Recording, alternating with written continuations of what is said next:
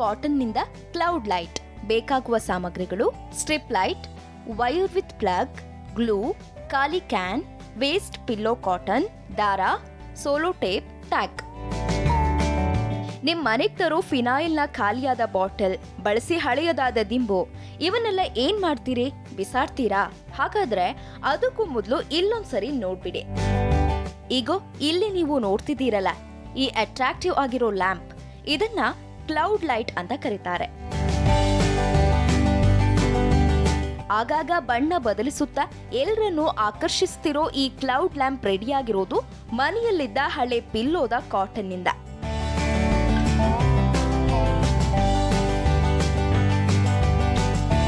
ಬನ್ನಿ, ಅದು ಹೇಗೆ ತಯಾರಾಗಿದೆ ಅಂತ ನೋಡೋಣ. ಮೊದಲಿಗೆ ಯಾವುದಾದ್ರೂ ಖಾಲಿಯಾಗಿರೋ ಫಿನೈಲ್ ಕ್ಯಾನ್ ಅಥವಾ ಇನ್ಯಾವುದಾದ್ರೂ ಕ್ಯಾನ್ ಅನ್ನ ತೆಗೆದುಕೊಳ್ಳಿ. ಆ ಕ್ಯಾನ್ನ ಸುತ್ತಲೂ ಈಗಾಗಲೇ ತೆಗೆದಿಟ್ಕೊಂಡಿರೋ ಸ್ಟ್ರೀಪ್ ಲೈಟ್ ತಗೊಂಡು ನಿಧಾನವಾಗಿ ಸುತ್ತಿ ಅದಕ್ಕೆ ಪ್ಲಾಸ್ಟರ್ ಹಾಕ್ತಾ ಬನ್ನಿ.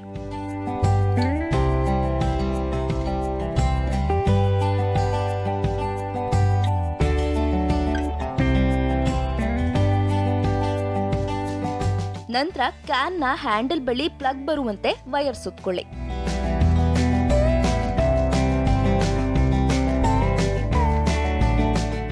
ನಂತರ ಬೇರೆ ಕನೆಕ್ಟರ್ ತೆಗೆದುಕೊಂಡು ಆ ಪ್ಲಗ್ಗೆ ಕನೆಕ್ಷನ್ ಕೊಡಿ.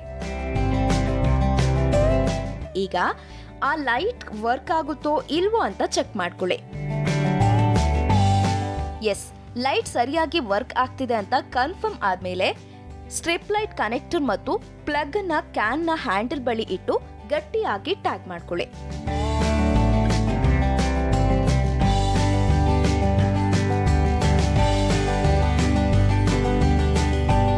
ನಂತರ ಗ್ಲೋ ತೆಗೆದುಕೊಂಡು ಕ್ಯಾನ್ನ ಸುತ್ತಲೂ ಹಚ್ಚಿ.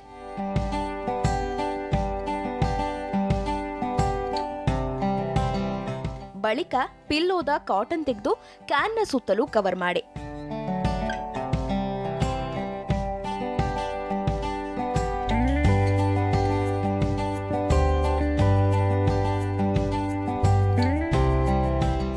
ನಂತರ ಕಾಟನ್ ಬಿದ್ದು ಹೋಗದಂತೆ ದಾರವನ್ನ ತೆಗೆದುಕೊಂಡು ಬೀಗಿಯಾಗಿ ಕಟ್ಟೆ.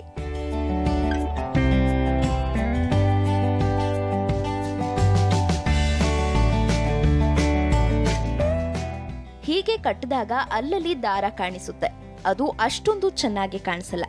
ಆ ದಾರ ಕಾಣಿಸದೇ ಇರೋ ತರ ಮತ್ತಷ್ಟು ಕಾಟನ್ ತೆಗೆದುಕೊಂಡು ಫುಲ್ ಕವರ್ ಮಾಡಿ.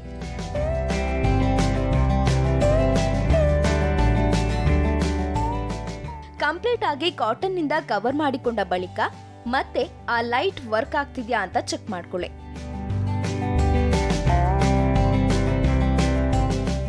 ಈಗಲೂ ಲೈಟ್ ಯಾವುದೇ ಪ್ರಾಬ್ಲಮ್ ಇಲ್ಲದೆ ವರ್ಕ್ ಆಗ್ತಿದೆ ಅಂದಾದ್ಮೇಲೆ ಜೋತು ಬಿಡಿ.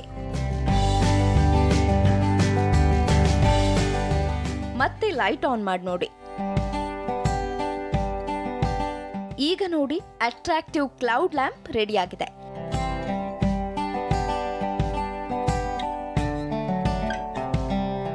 ಈ ಲೈಟ್ ಹಗಲಿಗಿಂತ ರಾತ್ರಿಯ ವೇಳೆ ಹೆಚ್ಚು ಸುಂದರವಾಗಿ ಕಾಣಿಸುತ್ತೆ. ಬೆಡ್ರೂಮ್ನಲ್ಲೂ ಕೂಡ ಈ ಲೈಟನ್ನು ಯೂಸ್ ಮಾಡಬಹುದು.